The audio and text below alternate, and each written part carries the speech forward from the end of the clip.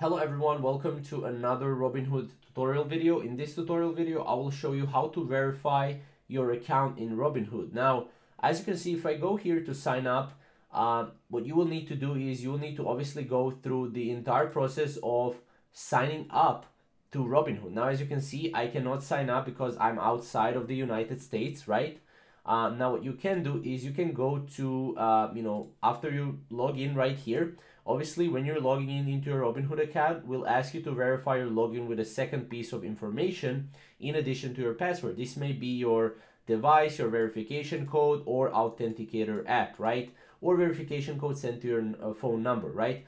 This can be one way of verifying your account, but a second way is, uh, you know, your uh, government ID or maybe your, um, you know, you know, your driver's license or stuff like that, right? So when you update sensitive Robinhood account information, such as your email or phone number, will ask you to verify if it's you through the device, right? Um, this is basically, uh, you know, if you're not getting text messages or stuff like that, it's right here. But if you want to really, uh, you know, verify your uh, Robinhood account, again, they'll probably ask you for your ID. So make sure to give them all of all the IDs, everything that you need in order uh, for this to work.